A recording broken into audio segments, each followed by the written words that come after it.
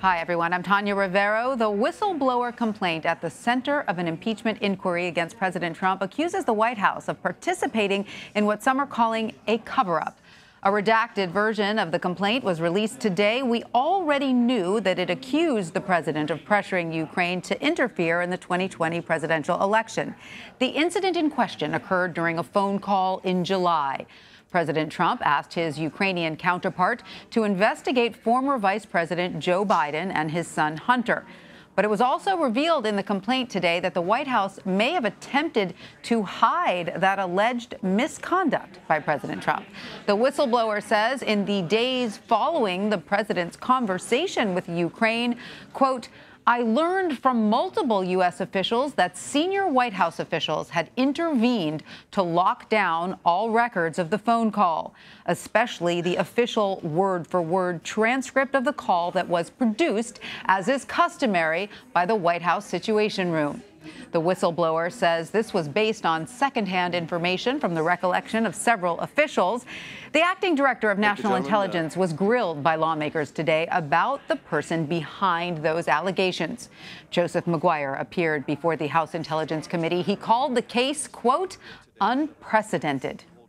I am not familiar with any prior instances where a whistleblower complaint touched on such complicated and sensitive issues, including executive privilege. I believe that this matter is unprecedented. I think the whistleblower did the right thing. I think he followed the law every step of the way.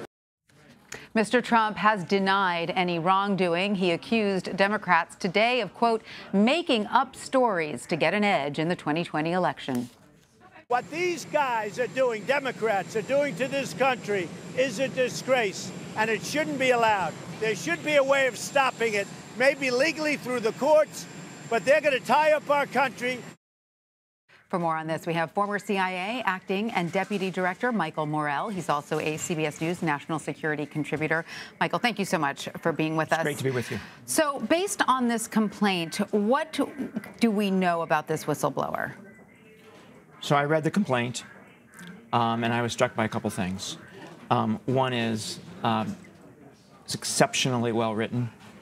Um, it looks to me like an analyst wrote it, a well-trained analyst, um, in terms of the precision of language, in terms of the details, in terms of how it was formatted and structured, short paragraphs, bullets, look to me exactly like an analyst. That's one thing. Two is it was someone looked to me like someone who was extensively involved in policy discussions about Ukraine. That doesn't happen with analysts who sit out in McLean, Virginia. Mm-hmm. Um, the third thing that struck me was that it was someone who understands exactly what happens in the White House with regard to these summaries of presidential phone calls. Um, so my assessment when I look at all of that is that this was probably a CIA analyst who was on rotation to the National Security Council staff and was not in on the phone call. But when the folks came back from the phone call, this person heard all of this information and said, This doesn't sound very good to me. All right. Now, how important, though, is it that this person's identity remain concealed? So I think. Um, I, I, I, fear for this person. Mm-hmm. Um, I don't think it's going to take too long before their identity comes out. Really? I would imagine. I would imagine the White House probably already has a pretty good understanding of who this might be. Um, only a handful of people come through the NSC staff like that. Um, so it's probably going to be pretty easy to figure it out. And, and, and, I worry, I'm concerned about what will happen to that person um, when Don't, their name comes out publicly, right? Doesn't that person have legal protections, though? Um, from the government um, putting that information out, right? But um, I, I think it's going to leak. Um, I think it's a matter of time before reporters figure it out, and then that person's going to be attacked, right? right? And, and from every angle, they're going to try to undermine that person. Well, so I'm concerned about that. The president already, already attacked has, the whistleblower. Yes. Let's listen to what he said. Sure. The person who gave the whistleblower the information, because that's close to a spy. You know what we used to do in the old days when we were smart, right? With spies and treason. We used to handle it a little differently than we do now. What is your reaction to that when, when you hear the president talking that way? So I don't use this word very often when I'm on the air, but I'm appalled. I mean, he's basically saying that this person should be killed. That's what he's saying. Um, and this person did exactly the right thing, right? This person saw something, heard something um, that they deemed to be um, the government acting inappropriately and used the exact channel that had been put in place to report government wrongdoing. Could have easily gone to the media, right, mm-hmm. and uh, and leaked it that way, but chose to do it the right way. So this is a person who has integrity, and this is a person who did this exactly the way you're supposed to do it, and this is the result you get. And yet the White House is saying that this information was secondhand, that the whistleblower did not listen in to this phone call, that most of the report is secondhand information. Is that significant to you? I think what's interesting is um, the complaint. When you read the complaint, it lays out essentially four four concerns on the part of the whistleblower. The first is the phone call, right? The second is the cover up of the phone call. The third is the follow up. So the very next day, right, policy officials take action with the Ukrainians to make happen what the president has asked. And then the fourth is the what happened prior to all this with the canceling of the assistance to the Ukrainian government, right? We know now with certainty that that first allegation on the part of the whistleblower is 100% right because we have the summary of the phone conversation. So even though they heard it secondhand, they nailed the first one. Um, and it sounds like there's enough sources here and there's enough details in the complaint to convince me that the other three are probably right as well. So, what do you make of the whistleblower's allegation that this phone call was sort of covered up by the White House, that it was placed in a secret vault that is used for highly classified information? Do you believe that that is probably accurate? And if so, is that a normal way to handle the president's phone calls with foreign leaders? So, when I read the summary of the phone call, I saw nothing in it that was classified. I saw nothing in it that was even close to classified. Um, and so there'd be no reason to put it into a classified system. In fact, there's a separate system where you put uh, presidential phone calls that are unclassified. And the whistleblower is claiming it wasn't put in. That's actually taken out of that system and put into a top secret system that's used for covert action, right? Right. Um, for the purpose of covering it up. Now that's going to have to be investigated.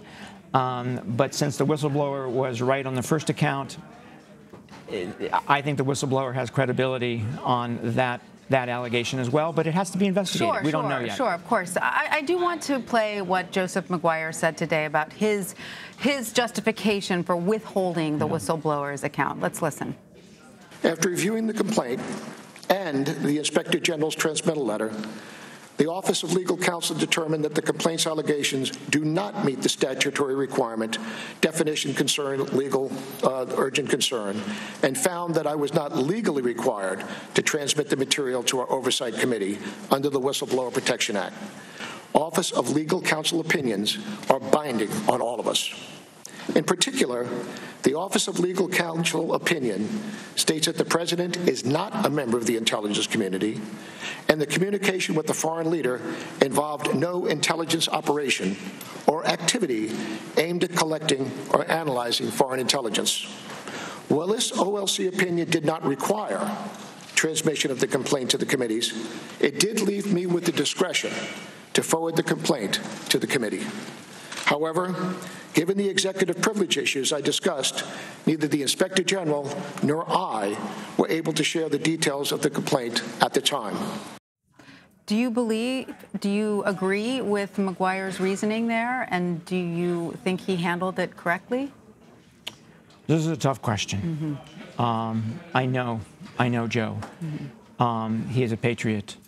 Um, he has done heroic things as a military officer. He has saved American lives with what he did as a military officer. He was put in an extremely difficult position here. Um, I think it was right for him to go to the Justice Department and say, What should I do? What are the legal issues here? I think that was the right thing to do. I quite frankly think that the Office of Legal Counsel probably made the right call that this was not did not fall under the standards of the Whistleblower Act because the president does not work for the DNI and there were no in, intelligence activities here. So you agree? But, okay. but, okay. but um, the Office of Legal Counsel told him that you don't have to send it. It didn't tell him you can't send it, right? So the question then becomes one of executive privilege, right? Executive privilege can only be claimed by the White House. Um, and it's unclear whether they did or not. And I think, had I been put in Joe's place um, after the Office of Legal Counsel told me that I didn't have to send it, I would have gone to the White House and said, um, I still want to send it. This is significant enough for me to want to share this with Congress because at the end of the day, this is about national security. This is about election security. This is about um, an American conspiring with a foreign country to interfere in our democracy. This is a counterintelligence issue. So I'm going to share it and have forced the White House to tell me not to, and then be prepared to resign if I have to. I think it's one of those moments. Amazing. We are at that moment. Michael Morell, we thank you so much for joining us and sharing your expertise Welcome. with us. Thank you. Let's bring in our panel now. Weijia Jiang, Ed O'Keefe, Zeke Miller, and Jessica Levinson. Weijia is a CBS News White House correspondent. Ed is a CBS News political correspondent. Zeke is a CBSN political contributor and White House reporter for the Associated Press. And Jessica is a professor at Loyola Law School. Thank you to all of you for being with us. We I want to start with this new audio from the Los Angeles Times. I just listened to it with Michael Morell previously. We hear President Trump ask who gave the whistleblower this information because that is, quote, close to a spy. Can you put into context for us what is behind the president's comments here? Well, Tanya, we've seen before that this president really struggles to understand sometimes uh, the duties of, uh, you know, different branches of government and different agencies and what people are supposed to do when they see a potential problem, a potential abuse of power. Of course, in this case, he happens to be at the center of it. Um, and so in the past, we've seen that he seems to believe um, that these agencies, that these departments work for him.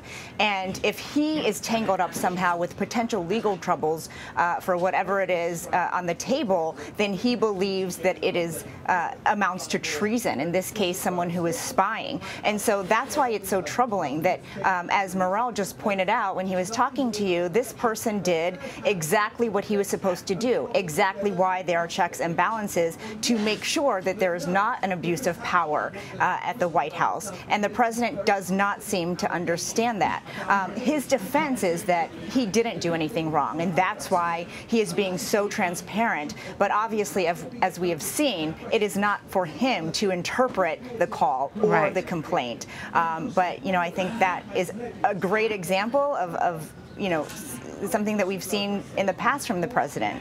And as uh, his understanding of what people are supposed to do in their jobs. Right, and as Morell suggested there, the president's words about this whistleblower and whoever else he spoke to in the White House really puts uh, those people in perilous territory in lots of ways. Um, so, Ed, I want to ask you now in today's testimony, Maguire called the whistleblower complaint, quote, totally unprecedented. What sorts of details did he provide to support that characterization? The whole document, uh, frankly. And, and there wasn't, frankly, too much conversation about what was actually in the document. There was more conversation today about, it seemed, about. Uh, why it was initially withheld and, and, and, the thinking that went into that. And, and, and as you just discussed with Michael Morell, the, the, the tortured thought process that he clearly went through uh, to reach this decision um, that ultimately got it to Congress, but perhaps didn't get it as quickly as lawmakers would have liked. But he was asked repeatedly, you know, about elements of this and, and kept saying that it was unprecedented and, and, frankly kept saying it in some cases in response to questions from Republicans, which you could tell they weren't thrilled about. Mm. But, um, you know, just the details in this about what exactly the president was doing uh, on that call, the events leading up to it, the questions about uh, the involvement of State Department officials, all of it clearly uh, was considered alarming enough to him that he felt compelled to reach out to others and figure out what to do and ultimately get it into the hands of Congress. And Zeke, Maguire was also asked directly if the White House ordered him initially to withhold the complaint. Let's listen to that exchange. The White House did not, did not direct me to withhold the information. Neither did the Office of Legal Counsel. That uh, opinion has been uh, unclassified and has been disseminated. The question came down to urgent concern, which is a legal definition. It doesn't mean is it important, is it timely? Urgent concern met the certain criteria that we've discussed several times here. So it did not. And all that did, sir, was then just take away the seven days. So, Zeke, do we know then if Maguire ever spoke to the president directly about this? We don't. Uh, from his testimony, he played a little bit uh, coy on that one, in part because of his sensitive government position. As the acting director of national intelligence, he said repeatedly that his job is to consult and brief the president on sensitive intelligence matters, and his trust with the president would be violated if he were to comment publicly on that. At the same time, he didn't quite offer the, uh, you know, he, he, didn't, you know, say if uh, he wouldn't talk about any conversations if they did or did not exist. He sort of did imply potentially that there were conversations that did exist uh, that uh, that he that he didn't want to reveal because of executive privilege. Uh, but that is uh, largely just parsing his words. That is not based on any particular information here. Though it is, you know, judging by this president, the way this president has carried out discussing discussing sensitive matters with aides in the past, investigations and the like, it is certainly plausible that President Trump would have asked his Maguire for more information, certainly over the last couple of weeks. And so, Jessica, what else then do we know about the allegations from the whistleblower that the White House, quote, locked down information about this call with Ukraine? I mean, that should be something that is fairly easy to prove or disprove through a certain amount of investigation. And how concerning is that allegation?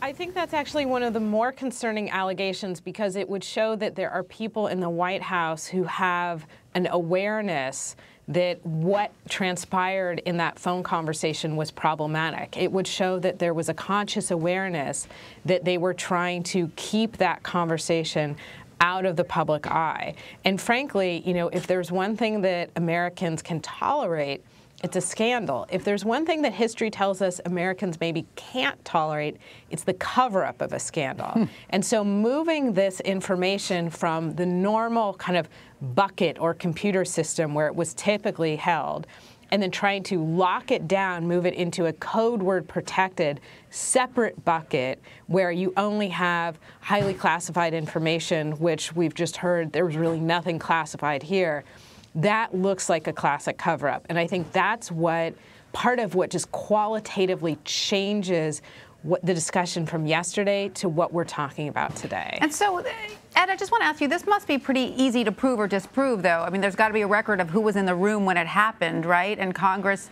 just needs to subpoena those people and ask them directly if they were aware of the phone call being sent into a separate you know, sort of top secret vault? I mean, this should be pretty easy to figure out. Is that correct, Ed? No, nothing in this town is easy like that anymore, Tanya. You know that.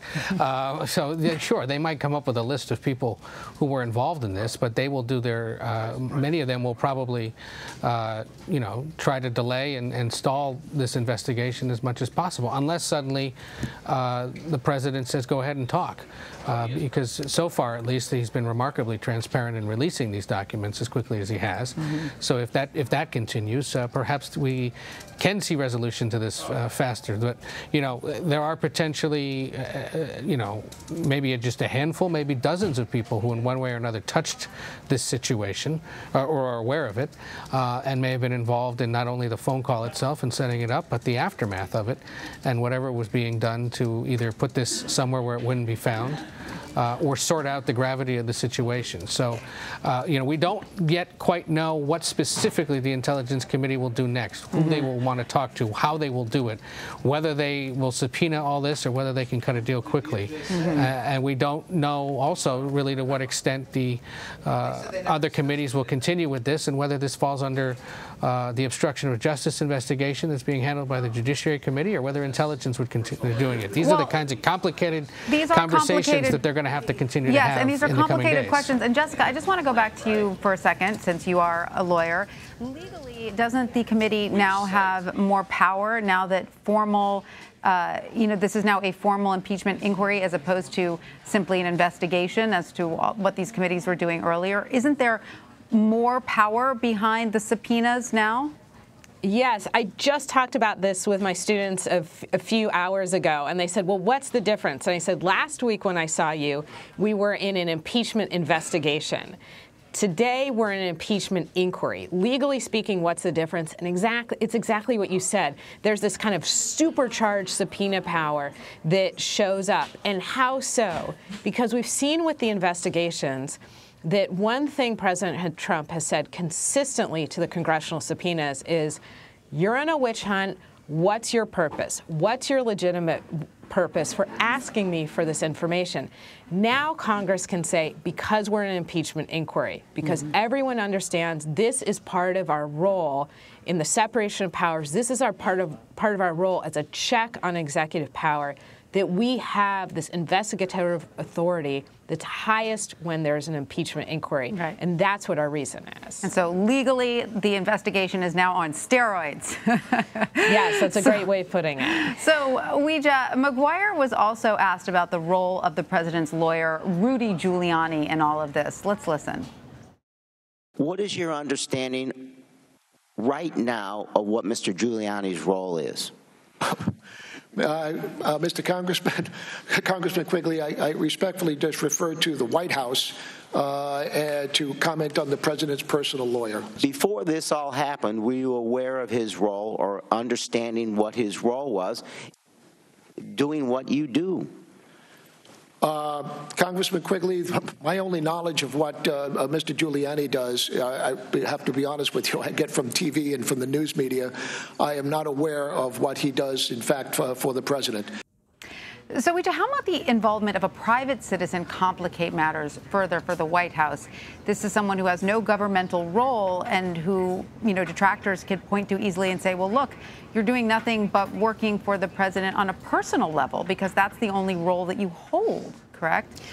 Of course, and that's exactly why President Trump was asked this very question yesterday, and he punted on why Giuliani would be allowed to have anything to do with Ukraine investigating Joe Biden and his son. Um, and he said, you know, Rudy has every right to go there and investigate the origins of the Russia investigation. And uh, the president explained that that's uh, the only reason why his name came up to President Zelensky of Ukraine at all, because they are still trying to get to the bottom of what happened. And that is true. I mean, uh, part of that call summary uh, included uh, information about, you know, the president asking to investigate whether the email servers uh, that were hacked during the 2016 uh, presidential campaign ended up in Ukraine. Um, and, you know, that's seemingly what Mr. Trump is saying when he, he says that's why his personal attorney is involved. The problem is that doesn't match what Giuliani himself has indicated on cable news, taking a lot of ownership uh, for investigating Ukraine. In fact, uh, in a, a article that was just published, he said, it's impossible that the whistleblower will be considered a hero and I won't be. That was in The Atlantic mm-hmm. as him uh, saying that as a quote. Um, and so he's really owning up to his role in this. And that is why sources here at the White House approach him with a collective eye roll, just like, you know, why is Rudy Giuliani still out here uh, speaking on behalf of President Trump because every time he does it, it puts them in a more perilous situation. It puts the president in a position of having to explain Giuliani, and it, you know, opens the door for a lot of trouble that could easily uh, go away if Giuliani just stopped talking. It is a questionable connection, no doubt. So, Zeke, I want I want to ask you now. More than half of House Democrats are in favor of impeachment. There needs to be a majority of support to send the process to the Senate. Has the White House looked ahead to that possibility yet? And if so, how are they preparing? You know, the White House, you know, for the last year or so has been uh, contemplating the prospect of impeachment, certainly once they lost the House in the midterm elections. They knew things had changed in Washington for the president. Uh, there were all those investigations. They weren't quite sure whether or not Democrats would actually go uh, go through with getting a formal impeachment inquiry, and it's still not clear just uh, what the timetable is for when Democrats might actually bring some sort of vote to the floor, articles of impeachment to the floor. But the uh, the tactic that the White House has, t- has sort of the approach the White House has taken to this from the very beginning has been almost uh, to goad uh, Democrats into going down this path because the president believes that it's going to be a political winner. Um, and you know, when it comes to Rudy Giuliani's role or the public statements from the president or his campaign uh, over the last year and now going forward as we enter this heightened season, it's worth, worth remembering that this is a political process. Impeachment is, you know, there, there are legal matters at stake. There are subpoena powers. There are, uh, uh, there, there are laws involved. There's an attempt to prove high crimes and misdemeanors. But ultimately, it's, it's, it's political. It's politicians who have to take votes either with their party or against the, uh, their, their, party. Uh, a president who is popular with uh, about half the country and very unpopular with about the other half.